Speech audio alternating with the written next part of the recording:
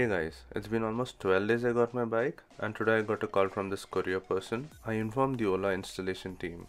They said the installation will be done in probably 2 days from now. The biggest advantage we have is the boot space, we can fit anything in it. Let's unbox this. It costs around 1200 rupees but we don't have to pay anything. The packing was decent enough. First we see this big blue cover. It has the main bracket stand. This is in white color and we have a lock and key set included in this. This is how it looks from the back. The quality is amazing. I don't think they have compromised on the quality part.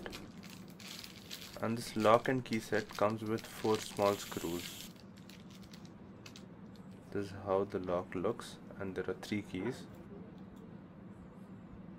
I'll just put these small screws and keys in this box for now.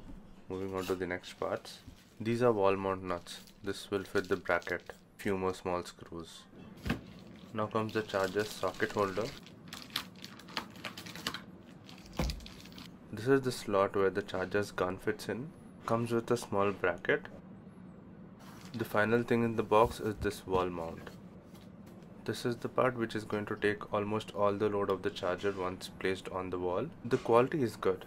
It feels robust and strong.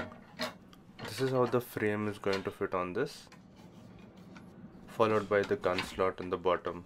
The installation team is expected to come today or tomorrow. Once that is done, the vlog will be out.